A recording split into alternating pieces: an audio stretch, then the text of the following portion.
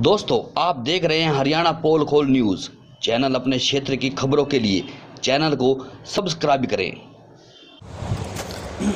स्थानीय जीन चुंगी के पास पुलिस प्रशासन और नशाखोरी से मिली व्यक्ति के खिलाफ स्थानीय कर्णकुंज के लोगों ने जींद रोड पर रास्ता जाम कर पुलिस प्रशासन के खिलाफ मुर्दाबाद के नारे लगाए। वह आरोप लगाया कि पुलिस की मिली भगत से यहाँ पर नशे का कारोबार होता है। पुलिस और आए दिन वह लोग पड़ोस में रहने वाले लोगों के प्रति दहशत का माहौल बनाए रखते हैं।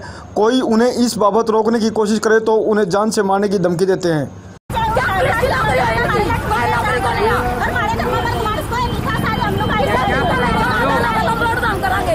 उनकी समस्या ये थी कि वो कर्णकुंज के लोग थे और वहाँ ऐसी सूचना मिली पूर्व में भी मिलती रही है कि वहाँ कुछ लोग समय बेचने का काम करते हैं। गांजा चरस जैसे गंभीर नशे बेचते हैं और भारतीय जनता पार्टी किसी भी कीमत पर ये नहीं चाहती कि इस तरह का कोई असामाजिक तत्व और दुष् कार्य करे। इसके लिए जैसे ही मुझे पता लगा कि उन लोगों ने जाम वो पुलिस की कार्यप्रणाली से भी खिन थे तो मैंने जा कर के उनको रिक्वेस्ट करके जाम खुलवाया और उनकी उचित कार्रवाई का आश्वासन दिया। मौके पर एसएचओ विकास जी भी पहुँचे और उन्होंने आश्वस्त किया तुरंत प्रभाव से मुकदमा दर्ज करने के आदेश किए। और भविष्य में भी मैं प्रशासन से ये उम्मीद करता हूँ कि हांसी में किसी भी तरह का समय या कोई नशा प्रशासन के नाक तले बिका तो वो बर्दाश्त नहीं किया जाएगा।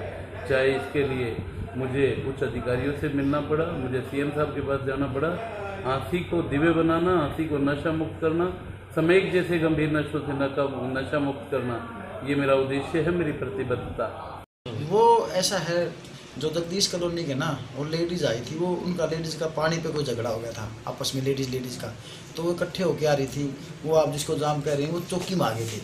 तो मैं भी वहाँ चौकी में गया था, मैंने कहा भी आप अपनी कंप्लेंट दे दीजिए- जिस पर हम ना नियम अनुसार कार्रवाई कर देंगे नहीं नहीं, हमारे पास जो कंप्लेंट आई ना, उसमें मैंने उसको पढ़ा था, उसमें पानी पानी का जो है ना नलका उसके ऊपर झगड़ा बताया उन्होंने। और जो भी वो कार देंगे ना, जैसी भी दरखास्त, उस, वैसे हम उसके नियम सर कार्रवाई करेंगे। कैमरामैन राम निवास सैनी के साथ ललित भारद्वाज की रिपोर्ट।